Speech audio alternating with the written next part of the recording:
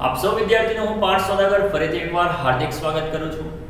વિદ્યાર્થી મિત્રો, આજના લેક્ચરમાં આપણે વાયુઓનો સ્વભાવ ચેપ્ટરની અંદર ખૂબ જ ઇમ્પોર્ટન્ટ ટોપિક્સ ઉપર ચર્ચા કરવાના છે.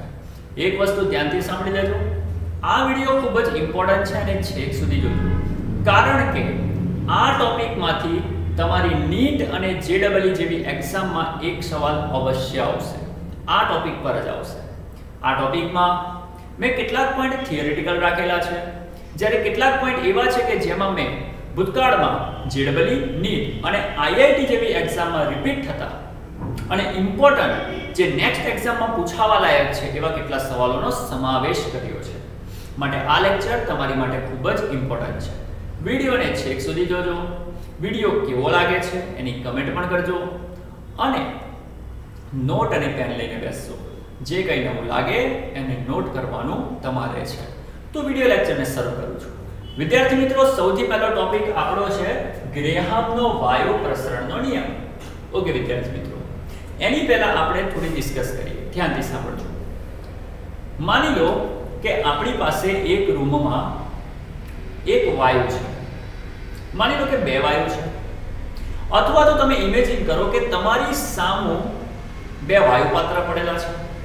અને એ બંને વાયુ પાત્રમાં અલગ અલગ વાયુ ભરેલો છે. એક વાયુ પાત્રમાં એ વાયુ છે, બીજા વાયુ પાત્રમાં બી વાયુ છે. અને હવે તમે ઇમેજિન કરો. જો એ બંને વાયુ પાત્રને ખોલી દેવામાં આવે, અને તમને સવાલ પૂછવામાં આવે, સવાલ શું? તમને પૂછવામાં આવે કે એ અને બી એ બંનેને ખોલી નાખતા કયો વાયુ તમારા તરફ પહેલો આવશે? ફરીથી સવાલ સાંભળો. તમારી સામુ બે વાયુ પાત્ર છે. બંને વાયુ પાત્રમાં અલગ અલગ વાયુ ભરેલો છે. એકમાં વાયુ એ છે, બીજામાં વાયુ બી છે અને બંનેના ઢાંકણા ખોલી નાખવામાં આવે અને સવાલ કરવામાં આવે કે આ બંનેમાંથી કયો વાયુ પહેલો આપણી પાસે આવશે? બંનેમાંથી કયો વાયુ પહેલો આપણી પાસે આવશે? તો તમે શું કહેશો? બોલો શું કહેશો? પહેલા તો મને એમ કહો જ્યારે બંનેના ઢાંકણા ખોલી નાખવામાં આવે, તો શું બંને વાયુ સાથે પાસે આવશે? શું બંને વાયુ સાથે પાસે આવશે? ફરીથી, જો બંનેના ઢાંકણ ખોલી નાખવામાં આવે, તો શું એ બંને વાયુ સાથે આપણી પાસે આવશે? જવાબ છે ના, બંને સાથે આપણી પાસે નહીં આવે. તમે કહેશો કેમ સાહેબ? તો ધ્યાનથી સાંભળજો. બંને વાયુ કેવા છે? અલગ અલગ છે. જો બંને વાયુ અલગ અલગ હોય, તો બંને વાયુના અણુઓ પણ કેવા હશે? અલગ અલગ હશે. હવે બંને વાયુના અણુઓ અલગ અલગ છે, એનો મતલબ થયો કે કોઈ એક વાયુનો અણુ મોટો હશે તો બીજા વાયુનો અણુ નાનો હશે. હા કે ના? બે વાયુ અલગ અલગ છે? મતલબ કે બંનેના અણુઓ અલગ અલગ હશે? એકનો અણુ મોટો હશે તો બીજાનો અણુ નાનો હશે. જેનો અણુ મોટો છે, એનું દળ વધારે હશે. જે અણુ મોટો છે, તે અણુનું દળ કેવું હશે? વધારે. અને કોમન સેન્સ કે જેનું દળ વધારે હોય તે ધીમે ધીમે ગતિ કરે. અને જેનું દળ નાનું છે તે સ્પીડમાં ગતિ કરે કે ના કરે? મતલબ કે બે વાયુમાંથી જે વાયુના અણુનું કદ નાનું હશે, એનું દળ નાનું હશે, જેનું દળ નાનું હશે, એ સ્પીડમાં દોડતો દોડતો દોડતો દોડતો દોડતો આપણી પાસે આવશે કે નહીં આવે ક્લિયર થઈ ગયું? તો મગજમાં ઉતારી લો. જ્યારે બે વાયુને આપણી સામે મૂકવામાં આવે અલગ અલગ પાત્રમાં અને બંનેના ઢાંકણ ખોલવામાં આવે તો બંને વાયુ કદી પણ સાથે આપણી પાસે નહીં આવે. કયો વાયુ આપણી પાસે વહેલો આવશે? તો કે ભાઈ, જે વાયુના અણુઓ સાઈઝમાં નાના છે અને જે વાયુના અણુનું દળ નાનું છે, ઓછું છે, એ વહેલો આપણા તરફ આવશે. ક્લિયર થયું કે ના થયું? મતલબ કે હવે આપણને કોઈ પૂછે કે બેમાંથી કયા વાયુનો પ્રસરણ દર વધારે છે? તો તમારે આન્સર શું આપવાનો? જે વાયુના અણુનું દળ ઓછું છે, તેની પ્રસરવાની ઝડપ વધારે છે. જેનું દળ ઓછું છે, તેની પ્રસરવાની ઝડપ વધારે છે. તો બોલો, એના પરથી આપણે એવું લખી શકીએ કે વાયુઓનો પ્રસરણ દર ચલે છે, એકના છેદમાં દળ એમ એટલે કે તમારે અણુનું દળ સમજવાનું. અને અણુના દળને બોલો, તમે આણવીય દળ કહો છો કે નહીં કહેતા? તો ખોપડીમાં ઉતારો, મગજમાં નાખો. વાયુઓનો પ્રસરણ દળ ચલે છે એકના છેદમાં આણ્વીય દળ. આનો મીનિંગ સમજો. પ્રસરણ દળ અને આણ્વીય દળ વ્યસ્ત પ્રમાણમાં છે. કેમ? કારણ કે જેમ જેમ જેમ જેમ આણ્વીય દળ ઓછું, તેમ તેમ પ્રસરણ દળ વધે કે ના વધે? જેમ જેમ દળ ઓછું થાય, તેમ તેમ પ્રસરણ વધે કે ના વધે? સિમ્પલ છે. તો વિદ્યાર્થી મિત્રો, આપણા વૈજ્ઞાનિકે શું વિચાર્યું? કે વાયુઓનો જે પ્રસરણ દર છે, તે તેના આણ્વીય દળના વ્યસ્ત પ્રમાણમાં હોવો જોઈએ. ત્યારબાદ તેમણે તેના ઉપર ઘણા બધા એક્સપેરિમેન્ટ કર્યા. અને એક્સપેરિમેન્ટ કર્યા બાદ એમણે અમુક સૂત્રોની તારવણી કરી. આપણે સૂત્રો કેવી રીતે આવ્યા, તેના વિશે હમણાં ચર્ચા નહીં કરીએ. પણ આપણે યાદ રાખીશું કે કયા કયા સૂત્રોની તારવણી થઈ. તો વિદ્યાર્થી મિત્રો, પહેલું જે સૂત્ર એમણે તારવેલું તે હતું, પ્રસરણ દર ચલે છે એકના છેદમાં વર્ગમૂળમાં d જ્યાં વર્ગમૂળમાં d નો મતલબ થાય વાયુની ઘનતા. આપણા વૈજ્ઞાનિકે કીધું કે વાયુના પ્રસરણનો દર વાયુની ઘનતાના વર્ગમૂળના વ્યસ્ત પ્રમાણમાં છે. અને એનું વિધાન પણ છે. જો અચળ તાપમાન અને દબાણે વાયુના પ્રસરણનો દર તેની ઘનતાના વર્ગમૂળના વ્યસ્ત પ્રમાણમાં છે. તો વિદ્યાર્થી મિત્રો આ જે d છે ને d, એ વાયુની ઘનતા ગણાશે. તો પ્રસરણનો દર ચલે છે 1 √d, વર્ગમૂળમાં d. બીજું સૂત્ર તેમણે આપ્યું કે r ચલે છે 1 √vd વિદ્યાર્થી મિત્રો, અહીંયા v નો મતલબ થશે કદ. v નો મતલબ શું થશે? કદ.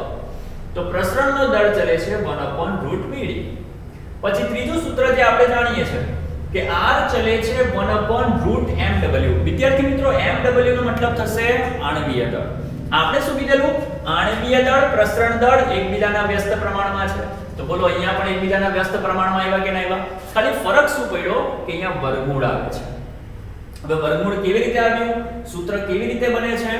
એના વિશેની ડિસ્કસ હમણાં આપણે કરવાની નથી. ખાલી એટલી વસ્તુ યાદ રાખજો કે પ્રસરણનો દર અને આણ્વીય દળ બંને એકબીજાના વ્યસ્ત પ્રમાણમાં છે. આટલી વસ્તુ ક્લિયર થઈ ગઈ? તો આ છે તમારો ગ્રેહામનો નિયમ. ફરીથી, ગ્રેહામના નિયમમાં કઈ યાદ નથી રાખવાનું? શું યાદ રાખવાનું? જેનું દળ વધારે હોય તે ધીમો ધીમો ગતિ કરે. સમજ પડી? જેનું દળ ઓછું હોય તે સ્પીડમાં ગતિ કરે. જે સ્પીડમાં ગતિ કરે, એનો પ્રસરણ દર વધારે. અને જે ધીમે ગતિ કરે, એનો પ્રસરણ દર ઓછો. એનો મતલબ કે મારું દળ વધારે, તો પ્રસરણ દર ઓછો. મારું દળ ઓછું તો પ્રસરણ દર વધારે. એનો મતલબ કે પ્રસરણનો દર અને દળ બંને એકબીજાના વ્યસ્ત પ્રમાણમાં હોવા જોઈએ. પણ ખાલી એટલું યાદ રાખી દેજો કે અહીંયા એકલું દળ નહીં આવે, વર્ગમૂળમાં દળ આવશે. સૂત્રની સાબિતી હમણાં આપણે જોવાની નથી. તો બોલો, આટલી વસ્તુ દરેકને ક્લિયર થઈ ગઈ? બીજા પણ અમુક સૂત્ર છે, પ્રસરણ દળના, તે મોડે કરી નાખો. સૂત્ર છે, પ્રસરણ દર બરાબર લેન્થ બાય ટાઈમ એકમ સમયમાં એકમ સમયમાં પ્રસરણ પામતા વાયુએ કાપેલા અંતરને પ્રસરણનો દર કહે છે. એકમ સમયમાં પ્રસરણ પામતા વાયુએ કાપેલા અંતરને પ્રસરણ દર કહે છે. અહીંયા L નો મતલબ થશે લંબાઈ અને dg નો મતલબ થશે ડિફ્યુઝડ ગેસ ડિફ્યુઝડ ગેસ નો મતલબ શું થાય? પ્રસરણ પામેલો વાયુ. અહીંયા તમે dg ને ભૂલી જાઓ. ખાલી તમારે યાદ રાખવાનું r બરાબર L t. એકમ સમયમાં વાયુએ કાપેલા અંતરને પ્રસરણ દર કહેવાય. બીજું સૂત્ર છે, એકમ સમયમાં વાયુએ રોકેલા કદને, અહીંયા v નો મતલબ થશે કદ. એકમ સમયમાં વાયુએ રોકેલા કદને પણ પ્રસરણ દર કહેવાય. અને એ જ રીતે એકમ સમયમાં વાયુના જેટલા પણ મોલ છે, એને પણ પ્રસરણનો દર કહેવાય. તો વિદ્યાર્થી મિત્રો ગ્રેહામના નિયમમાં આટલા સૂત્ર ખૂબ જ અગત્યના છે. એમાંથી પણ જે ખાસ અગત્યનું સૂત્ર છે તે આ છે. હમણાં આપણે દાખલા જોઈશું એટલે તમને તરત ખબર પડશે. તો બોલો, આટલી વસ્તુ દરેકને ક્લિયર થઈ ગઈ? ગ્રેહામનો નિયમ મેઇન પોઈન્ટ શું યાદ રાખવાનો છે? આણ્વીય દળ વધશે તો પ્રસરણ દર ઘટશે. મીન્સ કે આણ્વીય દળ અને પ્રસરણ દર. બંને એકબીજાના વ્યસ્ત પ્રમાણમાં છે. અને તેમનો વ્યસ્ત સંબંધ કેવી રીતે આપવામાં આવે છે? તો વ્યસ્ત સંબંધ છે r ચલે છે 1 ના છેદમાં વર્ગમૂળમાં mw ચલો આટલી વસ્તુ ક્લિયર થઈ ગઈ. હવે આપણે ગ્રેહામના નિયમ પર આધારિત ભૂતકાળની અગત્યની પરીક્ષાઓ આઈઆઈટી JEE NEET એમાં પૂછાયેલા કેટલાક MCQs નો અભ્યાસ કરવા જઈ રહ્યા છે. તો દરેક જણ ધ્યાનથી જોશે. સ્ટાર્ટ કરીએ છીએ. એક્ઝામ્પલ 1 27 સેલ્સિયસ તાપમાન અને 1 એટીએમ દબાણે. વાયુ પાત્રમાં હિલિયમ અને મિથેનનો પ્રસરણ દરનો ગુણોત્તર શોધો. વિદ્યાર્થી મિત્રો, આપણને કીધું છે કે 27 ડિગ્રી તાપમાન છે 1 એટીએમ દબાણ છે, અને વાયુ પાત્રમાં બે વાયુ ભરેલા છે, હિલિયમ અને મિથેન. આપણે શોધવાનો છે તેમના પ્રસરણ દરનો ગુણોત્તર. આપણે સૌથી પહેલા શું કરીશું? જે હિલિયમ છે, તેને નંબર 1 આપી દઈએ. અને જે મિથેન છે એને નંબર 2 આપી દઈએ. વિદ્યાર્થી મિત્રો, આપણે પ્રસરણ દરનો ગુણોત્તર શોધવો છે. કેવી રીતે શોધીશું? ધ્યાનથી જુઓ આપણે દરેક જણ જાણીએ છીએ કે r ચલે છે 1 ના છેદમાં વર્ગમૂળમાં mw જો r ચલે છે 1 ના છેદમાં વર્ગમૂળમાં mw હોય, તો લખી શકું? R1 ચલે છે 1 ના છેદમાં વર્ગમૂળમાં mw1 અને r2 ચલે છે 1 ના છેદમાં વર્ગમૂળમાં mw2 તો આના પરથી આપણે આ બે સૂત્ર લખી શકીએ. અને આ બંને સૂત્રનો જો હું ગુણોત્તર લઈ લઉં, મતલબ કે આના ભાગ્યા આ કરું, તો લખાય r1 ના છેદમાં r2 અને તમને દરેકને ખબર છે કે આના ભાગ્યા આ કરશો તો આ પલટાઈ જશે અને લખાશે વર્ગમૂળમાં mw2 ના છેદમાં mw1 તો વિદ્યાર્થી મિત્રો, આપણે આ બેનો ગુણોત્તર લેવાનો છે ખાલી. આનો ગુણોત્તર લો, આનો ગુણોત્તર લો. આનો ગુણોત્તર કહેવાશે r1 ના છેદમાં r2 અને આ બેનો ગુણોત્તર લો, તો એને કહેવાશે વર્ગમૂળમાં mw2 mw1 હવે વિદ્યાર્થી મિત્રો, સમજવાની કોશિશ કરજો. આ તો બેઠું તેનું તે રહેશે. હવે વિચારો. Mw2 શું છે? Mw2 નો મતલબ થાય બીજાનું આણ્વીય દળ. વિદ્યાર્થી મિત્રો, તમને દરેકને ખબર છે કે m નો મતલબ આણ્વીય દળ છે. અહીંયા લખી પણ આપું છું, આણ્વીય દળ. ઓકે? આપણે દરેક જણ જાણીએ છીએ કે mw નો મતલબ આણ્વીય દળ છે. અહીંયા છે mw2 મતલબ કે બીજાનું આણ્વીય દળ. વિદ્યાર્થી મિત્રો, તમે બીજો નંબર કોને આપેલો છે? મિથેન ને આપેલો છે. મિથેનમાં એક કાર્બન છે અને ચાર હાઇડ્રોજન છે. આપણે બધા જાણીએ છીએ કે કાર્બનનું પરમાણ્વીય દળ 12 અને એક હાઇડ્રોજનનું એક, તો 4 નું કેટલું થાય? 4 તો 12 4 કેટલા થાય? 16 થશે ને. એટલે કે બીજાનું આણ્વીય દળ 12 4 અને એવી રીતે પહેલાનું આણ્વીય દળ. વિદ્યાર્થી મિત્રો, આપણી પાસે પહેલો કોણ છે? તો કે હિલિયમ છે. હિલિયમનું પરમાણુય દળ કેટલું છે? 4 છે. છે કે નહીં? એ તો બધાને ખબર જ હશે. હિલિયમનું પરમાણવીય દળ 4 તો નીચે લખી નાખ્યું 4 હવે સાદુરૂપ આપીશું. આગળ બેઠું તેનું તે? 12 4 કેટલા થાય? 16 16 ભાગ્યા 4 કરો. તો 4 મળે કે ના મળે? r1 ના છેદમાં r2 તેના તે વર્ગમૂળમાં 4 એટલે કે 2 તો વિદ્યાર્થી મિત્રો, આપણને મળી ગયો પ્રસરણનો ગુણોત્તર. છે કે નહીં? ઈઝી છે દાખલો આવા દાખલા આપણને કોમ્પિટેટિવ એક્ઝામ્સમાં પૂછાતા હોય છે. તો આ દાખલો આપણે કોના બેઝ ઉપર ગણ્યો? આ સૂત્ર પર. છે. કે એના જેવો જ બીજો દાખલો. SO2 નો પ્રસરણ દર કોઈ x વાયુ કરતા બે ગણો છે. વિદ્યાર્થી મિત્રો શું કહે છે? SO2 છે. એનો પ્રસરણ દર x કરતા બે ગણો છે. સૌથી પહેલા તો આપણે SO2 ને નંબર 1 આપી દઈએ. અને જે x વાયુ છે, એને નંબર 2 આપી દઈએ. SO2 ને એક નંબર અને x વાયુ ને બે નંબર આપી દીધો. આપણને શું કહે છે? SO2 નો પ્રસરણ દર. ચાલો SO2 ના પ્રસરણ દરને R1 કહેવાશે. SO2 ના પ્રસરણ દરને શું કહી દીધું? R1 અને x વાયુ x વાયુને તમે બીજો નંબર આપેલો છે? તો x વાયુના પ્રસરણ દરને તમે કહી દો R2 આપણને શું કહે છે? SO2 નો પ્રસરણ દર x વાયુના પ્રસરણ દર કરતા બે ગણો છે. બે ગણાનો મતલબ ગુણ્યા બે થાય કે ના થાય? તો SO2 નો પ્રસરણ દર x વાયુના પ્રસરણ દર કરતા બે ગણો છે. તો R1 બરાબર 2 ગુણ્યા R2 થાય કે ના થાય? સિમ્પલ છે. હવે શું કરીશું? R1 તેના તે રાખો. R2 ને છેદમાં ઉતારી દો. તો બોલો R1 ના છેદમાં R2 બરાબર 2 થાય. અને વિદ્યાર્થી મિત્રો, હમણાં જ આપણે જોઈ ગયા. અહીંયા જુઓ. R1 ના છેદમાં R2 જ્યારે પણ તમે ગ્રેહામના નિયમમાં R1 ના છેદમાં R2 કરશો, તો તેનો આન્સર શું મળશે? વર્ગમૂળમાં mw2 છેદમાં mw1 તો વિદ્યાર્થી મિત્રો, આપણે લખી શકીએ અહીંયા પણ કે R1 ના છેદમાં R2 એટલે શું લખાય? વર્ગમૂળમાં mw2 છેદમાં mw1 મગજમાં ઉતારી દેજો અહીંયા લખીને આપો તમને. સૂત્ર મોડેજ કરી નાખજો. ગ્રેહામમાં R1 ના છેદમાં R2 બરાબર m. શું આવશે બોલો? વર્ગમૂળમાં mw2 છેદમાં mw1 આ સૂત્ર દરેક જણ મોઢે કરી નાખે. તો વિદ્યાર્થી મિત્રો r1 ના છેદમાં r2 એટલે આપણે લખીશું વર્ગમૂળમાં mw2 છેદમાં mw1 આ બે એઝ ઇટ ઇઝ તેના તે હવે વિદ્યાર્થી મિત્રો શું કહે છે તે જો mw2 ને શું કહેવાય? બીજાનું આણ્વીય દળ વિદ્યાર્થી મિત્રો, બીજો એટલે કોણ? તમારો XY અને XY વાયુનું આણ્વીય દળ તો આપણે શોધવાનું જ છે. વિદ્યાર્થી મિત્રો mw નો મતલબ થાય આણ્વીય દળ તમને રકમ શું કહેતે ફરીથી વાંચો. SO2 નો પ્રસરણ દર x વાયુ કરતા બે ગણો છે. તો x નું mw શોધો. Mw નો મતલબ થાય મોલિક્યુલર વેટ મોલિક્યુલર વેટ નો મતલબ થાય આણ્વીય દળ. તો વિદ્યાર્થી મિત્રો, આપણે અહીંયા x વાયુનું આણ્વીય દળ શોધવાનું છે. આપણે x ને નંબર 2 આપેલો છે. તો વિદ્યાર્થી મિત્રો, બીજાનું આણ્વીય દળ એટલે કે x નું આણ્વીય દળ જે આપણે શોધવાનું છે. નીચે જુઓ. નીચે છે પહેલાનું આણ્વીય દળ. વિદ્યાર્થી મિત્રો, પહેલો કોણ છે? SO2 પહેલો કોણ છે? SO2 ચાલો SO2 નું આણ્વીય દળ કેટલું થાય? વિચારો. S એટલે કે સલ્ફર. સલ્ફરનું આણ્વીય દળ 32 O એટલે કે ઓક્સિજન. એક ઓક્સિજનનું પરમાણ્વીય દળ 16 તો બે નું કેટલું?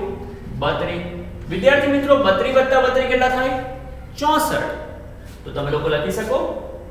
વર્ગમૂળમાં mw2 તેના તે પહેલાનું આણ્વીય દળ કેટલું મળ્યું? 32 32 64 અને બરાબર કરીને 2 વર્ગમૂળમાં mw2 તેના તે 64 નું વર્ગમૂળ 8 2 તેના તે. 8 ગુણ્યા 2 16 થશે. આ વર્ગમૂળ s ઇઝ તેનું તે.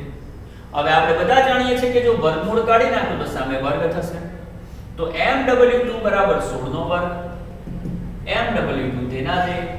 16 નો વર્ગ 256 તો બોલો, આવડે કે ના આવડે? તો આ રીતે તમે લોકોએ બીજાનું આણ્વીય દળ શોધી નાખ્યું. બીજો એટલે કે કોણ? X. તો x નું આણ્વીય દળ મળે કે ના મળે છે ને ઈઝી દાખલા. આવા દાખલા પૂછાતા હોય છે. થોડી મહેનત જો તમે કરશો, તો તમે કોઈ પણ કોમ્પિટિટિવ એક્ઝામના કોઈ પણ વિકલ્પને આસાનીથી સોલ્વ કરી શકશો. હજુ એના જેવો બીજો દાખલો જુઓ.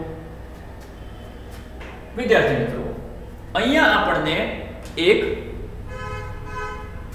આકૃતિ આપેલી છે. આકૃતિમાં તમને લોકોને એક બાજુ એમોનિયા વાયુ ભરેલો છે અને એક બાજુ HCl વાયુ ભરેલો છે. વિદ્યાર્થી મિત્રો, એક બાજુ એમોનિયા વાયુની બોટલ છે, બીજી બાજુ HCl વાયુની બોટલ છે અને એ બંનેની વચ્ચે આ રીતે એક નળાકાર રિંગ છે. એક નળી છે, નળાકાર નળી છે. વિદ્યાર્થી મિત્રો, અહીંયા આપણને સવાલ પૂછવામાં આવે છે. શું સવાલ પૂછવામાં આવે છે તે જુઓ. જો એક બાજુ એમોનિયા અને બીજી બાજુ HCl ભરવામાં આવે અને બંને વાયુને સાથે છોડવામાં આવે. એક બાજુ એમોનિયા, બીજી બાજુ HCl ભરવામાં આવે અને બંનેને એક સાથે છોડવામાં આવે. તો કઈ જગ્યા પર, કઈ જગ્યા પર એમોનિયમ ક્લોરાઇડની રિંગ બનશે? વિદ્યાર્થી મિત્રો, તમે લોકો જાણતા હશો, શું જાણતા હશો? કે જ્યારે એમોનિયા અને HCl આ બંને જ્યારે ભેગા થાય ને, તો બને NH4Cl અને NH4Cl એટલે એમોનિયમ ક્લોરાઇડ જ્યાં બંને ભેગા થશે, ત્યાં એમોનિયમ ક્લોરાઇડ બનશે અને જ્યાં એમોનિયમ ક્લોરાઇડ બનશે ને, ત્યાં વ્હાઇટ રંગની રિંગ જોવા મળશે. વ્હાઇટ રંગની રિંગ જોવા મળશે. અને તમને એ જ સવાલ કરવામાં આવ્યો છે કે એ વ્હાઇટ રંગની રિંગ બનશે તો ક્યાં બનશે? ચાર ઓપ્શન તમને આપવામાં આવ્યા. પહેલું ટ્યુબની મધ્યમાં બીજું HCl ની નજીક, ત્રીજું એમોનિયાની નજીક કે ચોથું ન બને? ચાર ઓપ્શન તમને આપવામાં આવ્યા. થોડું તમે મગજ દોડાવો થોડું તમે વિચારો. કે આ બંનેને એક સાથે છોડવામાં આવે તો વચ્ચેના વિસ્તારમાં એમોનિયમ ક્લોરાઇડની રિંગ ક્યાં બનશે? આ ચારમાંથી કયો ઓપ્શન આવે? જો આ તો નહીં જ આવે, આ ઓપ્શન તો આવવાનો છે જ નહીં. કારણ કે રિંગ બનવાની છે, એટલે ન બને એ ઓપ્શન નહીં આપે રિંગ તો બનશે. ચલો, આ ત્રણમાંથી કયો આન્સર આવશે તે મને કહો. વિચારીને કહો. ચેક કરો. બોલો. થોડું લોજિક દોડાવજો. થોડું લોજિક આ સૂત્રનો યુઝ કરજો. વિચારો. ઓકે જો. વિદ્યાર્થી મિત્રો, એક બાજુ એમોનિયા ભરેલો છે. તમને લોકોને ખબર હશે ને કે એમોનિયાનું આણ બે હજાર સત્તર છે. અને ના ખબર હોય તો શોધી નાખવાનું. નાઇટ્રોજન 14 14 ને 3 17 એવી રીતે HCl હાઇડ્રોજન 1 અને ક્લોરીન કેટલા? 35.5 તો જવાબ કેટલો આવે? 36.5 તો વિદ્યાર્થી મિત્રો, એક બાજુ એમોનિયા છે.